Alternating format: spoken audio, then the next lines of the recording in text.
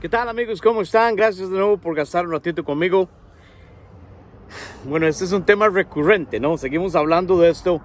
Hay cierta pasión en el tema y sé que muchos de ustedes uh, están interesados en seguir la conversación. Vieron en el tema del video, ¿cuáles son los daños que produce tener una relación con una mujer casada o una mujer comprometida? Amigos, bueno, de esto se trata este video.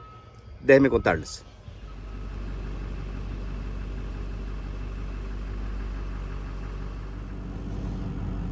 Oh, amigos, es una mañana preciosa, preciosa. Lo primero que usted tiene que entender, amigos, cuando usted entra en una relación, usted tiene una relación sexual con una mujer que está casada, comprometida, usted tiene que entender, igual un hombre, ¿no? Usted tiene que entender que esa pareja, esa pareja, tanto el hombre como la mujer, están dañados, ya están dañados. Hay un daño ahí. Por ende, usted al participar en una relación con esta mujer, usted va a ser parte de lo que se llama daño colateral. Sí, amigos, usted podrá estar bien, quizás falta de experiencia, lo que sea. Sencillamente, en el momento, y entiéndalo, y no estoy diciendo, no estoy mintiendo en esto, está bien documentado. En el momento que usted se involucra sexualmente con una mujer comprometida, casada, usted también va a estar dañado. Usted se vuelve daño colateral. Eso es lo primero. Amigos, lo segundo que va a pasar, lo segundo que va a pasar, que usted va a tener un sexo increíble.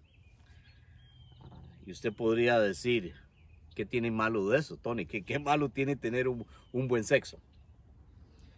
Y usted a lo mejor va a decir, este sexo es diferente que el que he tenido quizás con mi novia o con una pareja anterior. Y es lógico, usted tiene que entender que esta mujer que está comprometida, la única herramienta que ella tiene para amarrarlo a usted es el sexo. Honestamente, es el sexo. Por ende, le va a dar el mejor de su vida.